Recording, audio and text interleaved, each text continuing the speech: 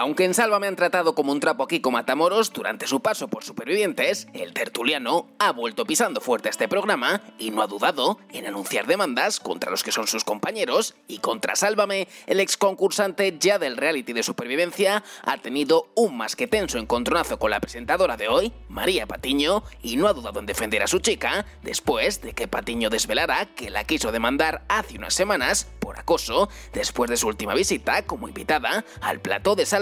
No obstante, hablando de demandas, no iba a ser la única en aparecer y es que Matamoros no está dispuesto a tolerar según qué ataques sobre su persona, pues el colaborador ha sentenciado que va a poner demandas tanto a Desi Rodríguez como a Charo Vega, dos de sus compañeras en Supervivientes, a la primera por afirmar que Kiko le habría hecho comentarios transfobos contra ella y a la segunda por corroborarlos. Al grito de eso no es verdad, eres una manipuladora, Matamoros anunciaba a Desi la demanda que le va a poner los juzgados y que piensa acudir de manera inmediata, demanda que además estudia extender a algunos compañeros de programa pues tras compartir su descontento con Sálvame por el trato que le han dado durante su paso por Supervivientes, Kiko sentenciaba, tan malo es el que ha acusado un delito como el que se hace eco de él. ¿Nos vas a demandar? Preguntaban Lidia Lozano y Laura Fa, más que sorprendidas ante lo que Matamoros les decía, pues claro, mostrando que va por todas y que no le va a temblar el pulso ante nadie,